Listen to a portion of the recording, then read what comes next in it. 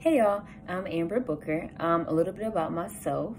I am a psychology major.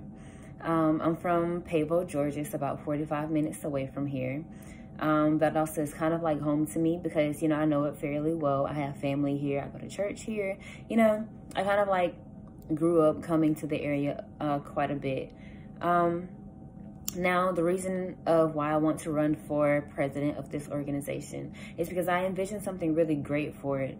Um, I want us to be able to not just help the people, the students here at VSU develop a love and respect for poetry, but also to help us develop like a greater love and respect of poetry.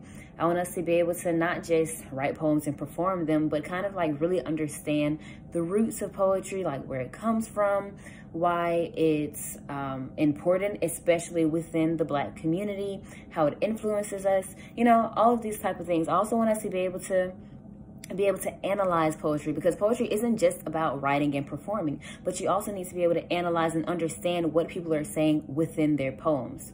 So there's a lot of creative ideas that I have in mind for this organization, a lot of things that I want to do, um, events that I want to have happening throughout next year. But um, I really hope that y'all work with me. I know we'll get along great. I know we'll do great things. Um, as long as God is willing and it's his will and, you know, he directs our path, we'll be straight. But yeah, so I can't wait to organize with y'all, get things running and flowing and get, you know, the organization out there and build bonds within each other. So yeah,